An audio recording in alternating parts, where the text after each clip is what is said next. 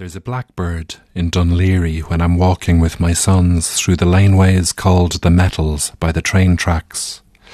And he sings among the dandelions and bottle tops and stones, serenading purple ivy, weary tree trunks. And I have it in my head that I can recognize his song, pick him out, I mean distinct from all his flockmates. But my sons insist it's fiction. Heard one blackbird, heard them all but there are times he whistles up a recollection. There's a blackbird in Dun Laoghaire, and I'm suddenly a kid asking where from here to Sandycove my youngest sister hid.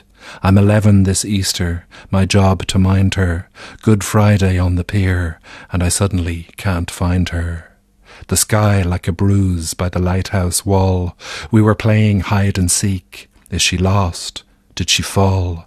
There's a blackbird in Dun Laoghaire, and the terror's like a wave breaking hard on a hull, and the people's faces grave as Yeats on a banknote, stern as the mansions of Killiney in the distance, as the pier's granite stanchions, and Howth is a dead child slumped in Dublin Bay, and my heart is a drum, and the breakers gull grey the baths. It starts raining, the people's park, and my tears of cold shame, and the dog's bitter bark.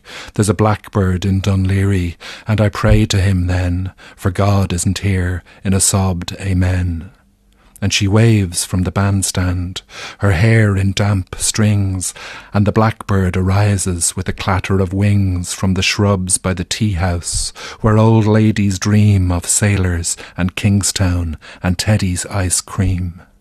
And we don't say a word, but cling in the mizzle, and the whistle of the bird getting lost in the drizzle. Mercy weaves her nest in the dead, wet leaves. There are stranger things in heaven than a blackbird believes.